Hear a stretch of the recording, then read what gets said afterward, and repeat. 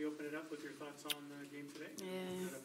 First and foremost, um, just shout out to Coach Thibault and his staff um, for an amazing series. Um, I, honestly, I, I look up to him in a lot of ways as far as just his organization and how he runs things and how smart he is and everything that encompasses who he is. And so, um, just congrats to them and honestly very happy with our crew, um, how we performed tonight. We had a lot of great performances from everyone, and um, our starters plus, you know, Steph with the big rebounds, Ezi with big big minutes, and just knowing that our team was locked in and focused. Um, we will enjoy this one tonight, but then we have to get ready for the next round. Hey, coach. Um, those guys had the best defense in the league, um, but you guys scored 97. It was just so efficient doing it. Do you think it was a matter of just seeing them and just like that that that series that after a while you get to figure out a team, I guess? I think so. I think we played them, you know, they were our, our last few games of the season, so we were very familiar about um, just their aggressiveness and, um, you know, how hard they play and how efficient they can be offensively, especially with Delle Donne on the floor. So, um, yeah, they're a very good defensive team. So are we. And I think as of late, though, our offense has picked up, and uh, we're finding ways to be efficient from everywhere on the floor, share the ball. Um, and I, you know, I think that you know this is this is the type of basketball you want to be playing at this point of the season. Uh, both teams shot over 50% from three-point range, but you guys had a 40 to 26 edge and points in the paint. Talk about what you guys did defensively to kind of slow down Shakira Austin and Delle Donne. I think our activity. Um, we switched our scheme today. We didn't jam ball screens with her. We switched, um, and that I think slowed them down a little bit. And you know, switching involves trapping. It involves rotating, and I think our activity was great. Um, we talked about Austin early on. Again, she was very active. We had to box out and rebound, and I thought we did a better job with that. and just I think our our poise and, and, and purpose, like offensively, to understand that um, the three ball is amazing but also to have a variety of what we do and get downhill, get into the pain, and work our mismatches as well. And what would you say is the biggest either takeaways or lessons you've learned from this series against Washington? They're tough. Um, I think for us, um, learning about the resiliency of our team. The, that game one, um, a couple of possessions went their way. Uh, we had good defensive possessions. We had Jewell come on late. Um, and just so, again, for this particular team who hasn't had multiple seasons together, multiple postseasons together, to see how we um, have grown in a lot of ways. And that is not just. Um, by getting wins, but how we're winning defensively, offensively, and um, just kind of staying the course, staying poised, and, and executing when we need to. You probably won't be able to answer this, but I, I need to ask Gabby Williams. Do you have an update? Do we know? Nothing okay. more than we put out. Yeah, I figured. Yep.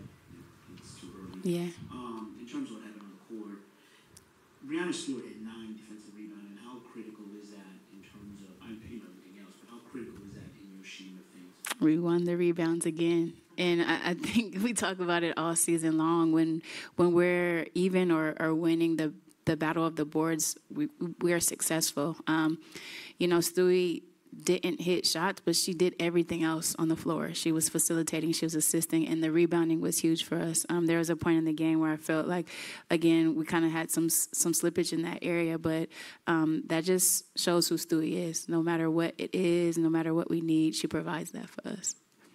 Going back to the offense in terms of the efficiency, familiarity, and people- and now ball movement and spacing, Mhm. is that what you're starting to see from this team now? Definitely, and I, I just think a comfort with one another, just to know we our, our our reps came in games a lot of times this year, and we're understanding, you know, timing of who needs the ball, spacing, the cutting.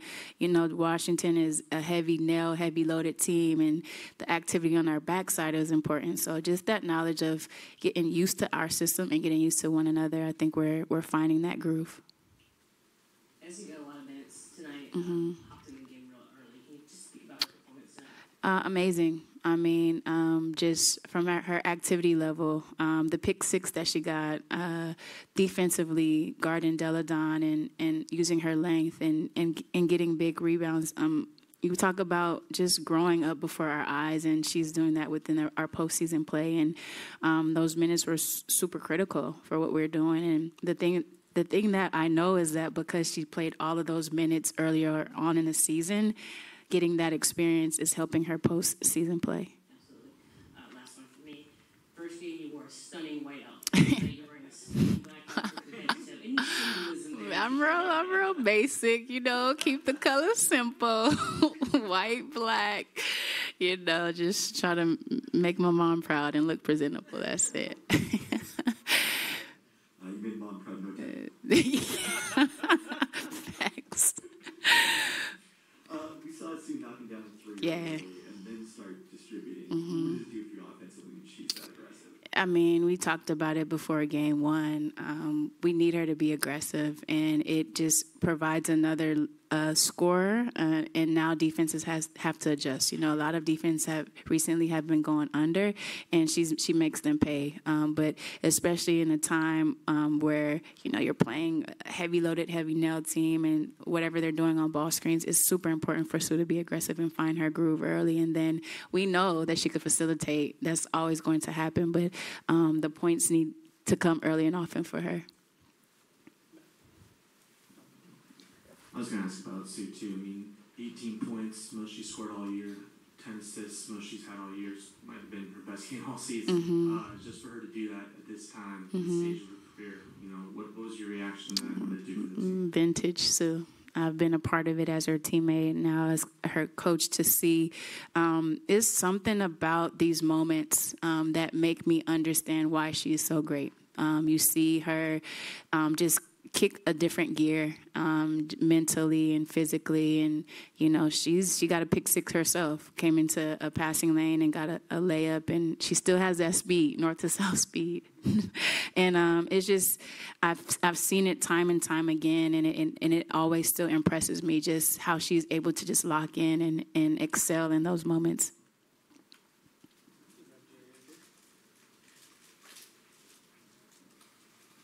No, I was curious to know um, as you switched up defensive philosophies, um, uh, especially on Delle Donne, like what were you kind of weighing there and kind of the pluses and minuses? And I know they, they made 14 threes, but uh, even though they scored 84 points, it seemed like that was just a more of a, manageable type of performance than having Delle Donne go off. Yes. Um, what we did in game one was jam her, and so Cloud got a lot more aggressive, and Cloud was five for eight from three point line. And, and what happens when you jam is you live with giving up the three, but I just had a feeling that she was going to be more aggressive game two. All of their guards, we talked about Atkins as well. And um, our switching scheme takes the aggression away from the guard, but also keeps um, our bigger guard on Delle Donne. And what we were doing was then coming to, to trap. And what trapping does, is obviously, is get the ball out of her hands. And so, just a combination of those elements to take away um, Cloud's aggression going downhill, to keep a body to Delle Donne, but to know that we're going to come with an extra body. Um, you know, Rui got a, a three early. We'll live with those. Um, and uh, there, there's there there you know things that we do have to tighten up on our rotations. Obviously, KYP understanding on closeouts who's going to drive and who's going to take the three, but at the end of the game when we had that lead we stopped trapping because they needed the threes and so we started to defend the three point line a little bit more so just adjusting as the game adjusts um, especially with a, a, prolific scorer like that you can't give her a heavy dose of the same thing and, and same with cloud give her a heavy dose of the same scheme she's going to take advantage of it Let's take some questions from our Zoom. Um, Christos, go ahead, Christos. Hello, coach. Congratulations on the win, first of all. thanks christos Uh, sh- showing the team, uh, Jewell started pretty well tonight. Uh, Stewie find her spots in uh, the second half. Super did two things on the floor. How how easy is the, the game when you s- when you show your play, your main players having that effort? It's not easy at all, but there is a comfort level, and those three have been through the fire with one another. Um, And so um, I I know that in these moments, um, they, there's a level that they get to, and they feed off of one another, and there's comfort with one another, another to know where they need the ball, when they need the ball, and um, I think each of them impacted the game in their own way, and but that's just who they are. They've been our big three since whenever. They will continue to be now in the present, and whenever and however long we continue. Thank you very much. No problem. Uh, let's go with uh, Dorothy. Dorothy, go ahead. Hi, Coach. Thanks for your time. Congrats on the win. Can you talk a little bit about um, what Tina Charles has brought to this team and how she's fit into um, the team that that she brought? hmm Um, Kevin Pelton says that we're a lot better with Tina Charles on the floor. Um, and I trust him and his numbers. Um, and I think what she's brought is just this um, this edge. Um, she's brought professionalism. She wants to win, um, and she will do anything for us um, that is needed in the game, whether it's rebounding, getting a bucket, defending. Um, and she's been an awesome teammate. So with the addition of, of Tina to have a bucket on the floor at any time offensively is, is great. But where we were deficient earlier in the year with rebounding, I think she's helped a ton with that as well. And let's go to Rafiq. Rafiq, go ahead. This is Rocky from the Book Sports Talk. Congratulations on winning the series. Thank you. I just want to ask you, the next round, it going to be the Storm going up against the Aces. And last time they fought each other, the Storm destroyed them during the 2020 NBA Finals. what are your anticipations about this semifinal series between the two WNBA elites? It's going to be a battle. Um, I know I talked about enjoying this one right now, but we're in the back talking about how are we going to stop um, the Aces. And, um, you know, they've played great basketball for the entire year. They're solid. They have um, a, a lot of great players. Um, and I, I, I know that it is going to be a battle. We will prepare. We will, we will in the, in the best position to win.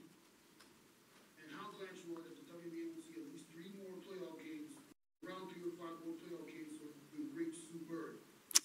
Yeah, I love it for for the game of basketball. I love it for the Seattle fans. I love it for our organization. I don't want it to end.